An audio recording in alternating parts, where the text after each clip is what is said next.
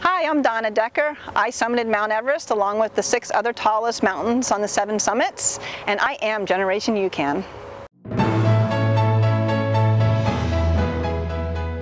As an athlete, I know my body really well, and I have had that feeling before when I'm in the middle of a competition or a training session and I can feel my blood sugar levels drop. That is the worst feeling um, because then you know you're about to run out of energy, you're feeling like you're about to bonk, and there's not going to be any place to go after that. But with my Generation UCAN, I felt like it leveled me out. And I practiced with it, obviously, before I went to Everest. I took it out to Utah when I was training. I, I drank it in a lot of different environments, a lot of different settings, a lot of different training, just to see how my body would respond to it. And on some of the mountains, like when I went to Switzerland, I, I took it there with me to see how I would do, and I had no gastro problems whatsoever. And that was just a relief there's a lot of gastro problems. It's the number one problem on Everest. Is at base camp, it's not too bad, but as you go higher on the mountain, your body is less able to adapt to the food intake, and especially at Camp 4, you have no appetite, but you know you gotta eat because you gotta fuel your body somehow because it's gonna burn about 15,000 calories. They say on the summit you burn about 15,000 calories. So we were trying to eat about 10,000 calories a day. How do you eat 10,000 calories?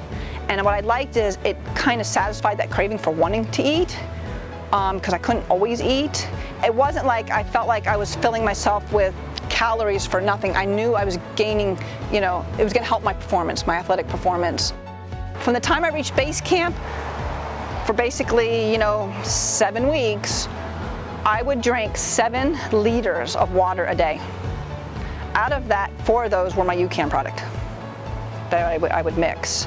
From the time I left South Col, Camp 4, to the summit and back down, I only drank my UCAN product. That is it. Nothing else.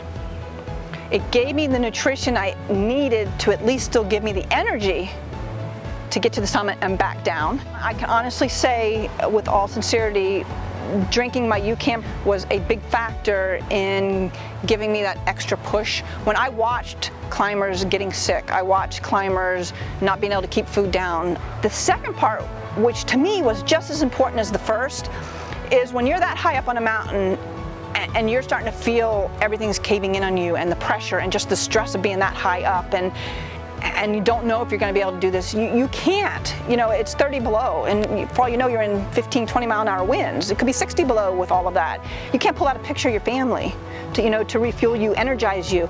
I would pull out my UCAN product because when I would drink it, it felt like home.